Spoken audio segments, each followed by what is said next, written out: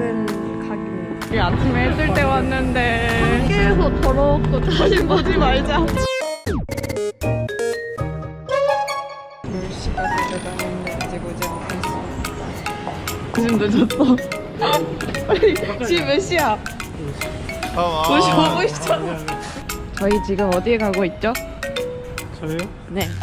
경북군에 있는 서울 정부청사 창성동 별관을 가고 있습니다. 거기가 뭐 하는 곳이죠? 어, 아 모르겠어요. 가봐야 할 것 같아요.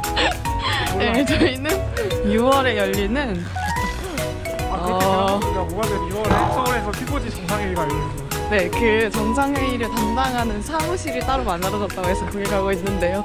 저기 도착했습니다. 예, 여기에요. 자, 여기. 저 그랬는데 못 들어가고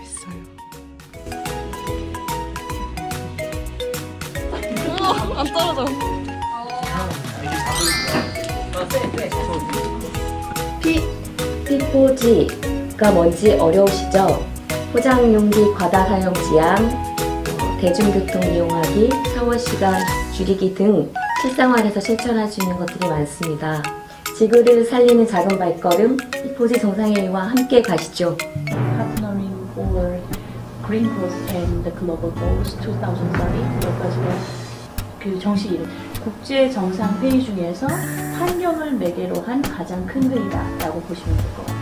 정상회의라고 하면은 국민들이 늘 참여할 수 없고 그냥, 정- 그냥 국가들끼리만 정부들끼리만 해나간다는 인식이 많은 것 같아서 그게 민간 협력이라는 부분에서 좀 더 사람들에게 인식이 널리 알려졌으면 좋겠어요.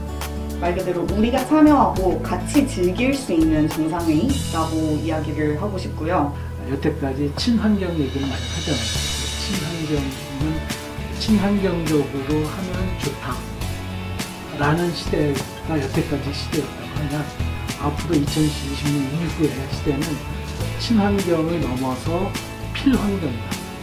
영어로는 이제 그린 서바이벌 필환경 시대 인식의 전환을 넘어서 행동의 전환.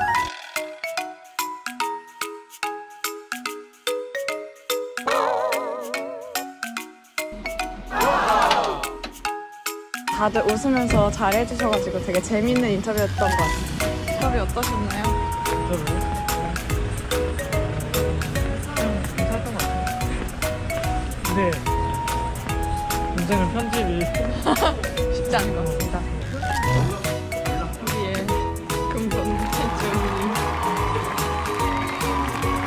열편 중입니다. 그래서 우리가 딸기 케이크를 사왔어요. 우리 아침에 해뜰 때 왔는데 되었습니다. 해가 마피아는 졌어요. 고개를 들고 함께해서 더러웠고 사진 보지 말자. 한마디 해주시죠. 아 뭐야? 아직 아직 안 찍어요? 끝났 아직 안 끝났어요. 저기 저저 눈뽕하고 계시는데.